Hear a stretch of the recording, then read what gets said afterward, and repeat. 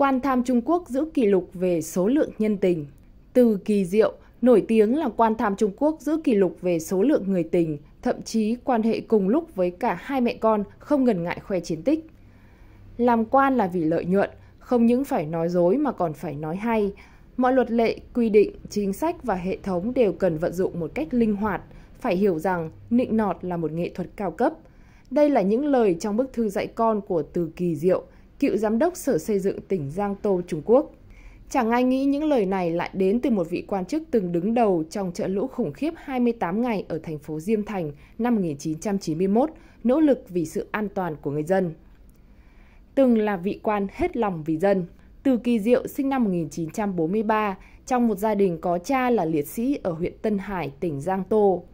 Sự anh dũng của người cha đã truyền cảm hứng và tinh thần cho Từ Kỳ Diệu, vững bước trên con đường chính trị, hết lòng phục vụ nhân dân. Sau khi tốt nghiệp đại học, từ kỳ diệu thăng tiến nhanh trên quan trường nhờ tài năng và nhiệt huyết, trở thành thị trưởng thành phố Diêm Thành vào năm 1990.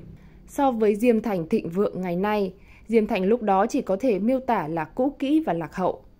Tuy nhiên, dưới sự hướng dẫn về chính sách mở cửa của chính quyền nhà nước Trung Quốc khi đó, Từ Kỳ Diệu đã giúp Diêm Thành thay đổi bộ mặt kinh tế. GDP tăng 198,8% sau 5 năm. Khi Diêm Thành bị lũ lụt tấn công năm 1991, Từ Kỳ Diệu không quan tâm đến bản thân, 28 ngày liền, không về nhà mà cùng người dân kiên trì chống lũ đến mức đổ bệnh nhập viện. Điều này cũng khiến người dân Diêm Thành hết lời khen ngợi. Danh tiếng tốt của Từ Kỳ Diệu nhanh chóng lan rộng khắp cả nước, trở thành hình mẫu để nhiều cán bộ học tập. Với nhiều năm thành tích chính trị và uy tín trong nhân dân, Từ Kỳ Diệu được thăng chức làm Giám đốc Sở Xây dựng tỉnh Giang Tô vào năm 1997 bản tính tham lam bộc lộ. Ngay từ năm 1993, Từ Kỳ Diệu đã dính líu đến tham nhũng. Khi đó, Đinh Ngọc Minh, một ông chủ dầu mỏ và khí hóa lỏng địa phương, đã tìm đến Từ Kỳ Diệu vì một dự án dầu mỏ và tặng cho ông ta 10.000 đô la Mỹ. Vào đầu những năm 1990, đây là một số tiền rất lớn và ngay cả một thị trường như Từ Kỳ Diệu cũng không thể dễ dàng tiết kiệm được. Dù tim đập chân run, nhưng từ kỳ diệu vươn tay nhận lấy số tiền, đương nhiên cũng dùng quyền lực trong tay giúp Đinh Ngọc Minh giải quyết yêu cầu. Sau khi có tiền lệ, ngày càng nhiều ông chủ tìm đến từ kỳ diệu và dùng tiền để nói chuyện. Theo thời gian, vị quan tưởng Trừng Thanh Liêm dần bị mê hoặc bởi mùi tiền. Sau khi trở thành giám đốc sở xây dựng tỉnh Giang Tô, một trong những người đầu tiên tiếp cận từ kỳ diệu là ông chủ họ Nữ. Người này mới mở công ty bất động sản và gặp nhiều khó khăn trong quá trình hoạt động. Để vượt qua khó khăn, Nữu đang nhờ người liên hệ với Từ Kỳ Diệu. Nghĩ rằng Nữu là một người hào phóng và có thể kiếm được rất nhiều tiền. Từ Kỳ Diệu đã đồng ý giúp đỡ mà không hề suy nghĩ gì. Mặc dù cuộc gặp giữa hai bên mất nhiều thời gian và phải thông qua trung gian, nhưng Từ Kỳ Diệu cảm thấy mọi thứ đều xứng đáng khi nhận được 1,2 triệu nhân dân tệ, tương đương gần 4 tỷ đồng với tỷ giá hiện tại. Năm 1997, trong lần đến một nhà máy địa phương để khảo sát, Từ Kỳ Diệu lại tỏ ra vô cùng thích thú với đồ nội thất trong phòng họp của nhà máy. Ông ta nói nửa đùa nửa thật.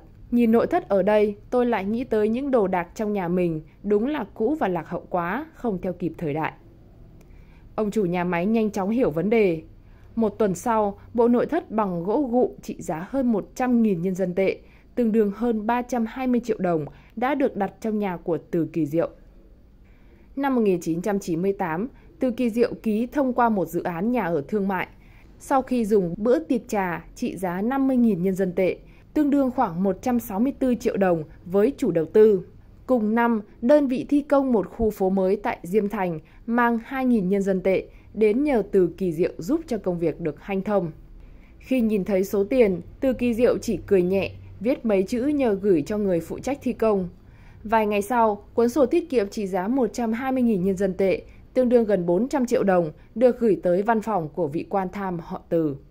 Vị quan hoang đảng Tiền do quyền lực mang lại khiến Từ Kỳ Diệu ngày càng biến chất, bất kể là ai đến cửa, cho dù là người thân, ông ta cũng căn cứ vào quan hệ gia đình mà đặt ra những mức giá khác nhau. Không chỉ vậy, người vợ Tần Tào đã không còn trong mắt Từ Kỳ Diệu nữa – ông ta cảm thấy mình xứng đáng có được người phụ nữ trẻ đẹp hơn. Từ kỳ diệu nổi tiếng là tham quan, giữ kỷ lục về số người tình. Khi khám xét nhà của tham quan này, các nhân viên điều tra đã phát hiện trong ổ cực máy tính có chứa tên và một số hình ảnh nhạy cảm của 146 người tình. Thậm chí tham quan họ Từ còn có một cuốn nhật ký mây mưa thuật lại chi tiết tên tuổi, đặc điểm cơ thể và những lần vui vẻ bên nhân tình. Đáng chú ý nhất là mối quan hệ của Từ Kỳ Diệu với hai mẹ con bà Vương Tú Lệ. Theo điều tra, năm 1990, Từ Kỳ Diệu khi đó vẫn đang là thị trưởng của Diêm Thành, một lần bị ốm nhập viện và được y tá Vương Tú Lệ chuyển nước. Dù thời điểm đã 40 tuổi, nhưng nhan sắc kiều diễm và mặn mà của Vương Tú Lệ vẫn khiến tham quan họ Từ say đắm.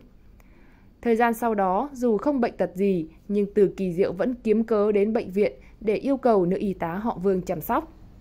Vương Tú Lệ còn được gọi trực tiếp đến văn phòng của Từ Kỳ Diệu để đo huyết áp, nhưng thực chất là thỏa mãn ham muốn.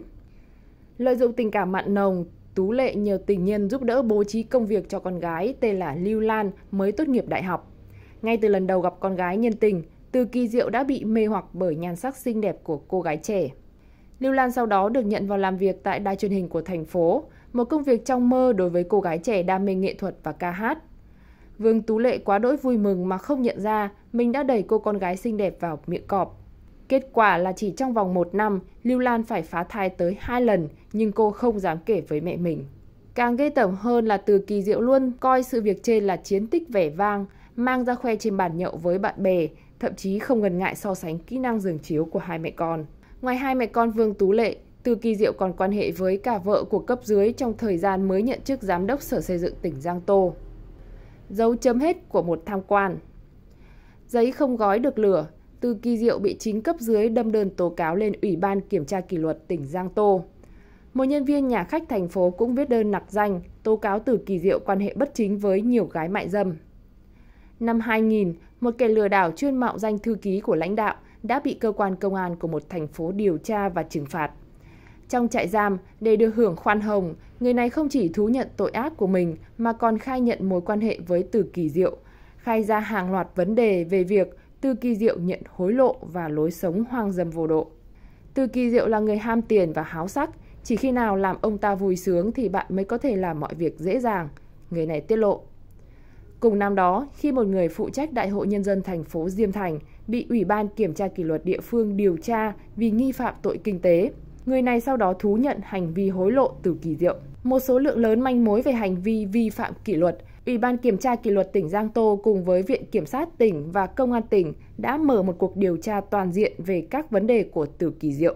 Tháng 10 năm 2000, Từ Kỳ Diệu bị bắt về các tội danh nhận hối lộ nghiêm trọng và lạm dụng chức quyền. Kết quả điều tra cho thấy, từ năm 1992 đến năm 1997, từ Kỳ Diệu đã có 46 lần nhận hối lộ với tổng số tiền là 20 triệu nhân dân tệ, tương đương khoảng 66 tỷ đồng.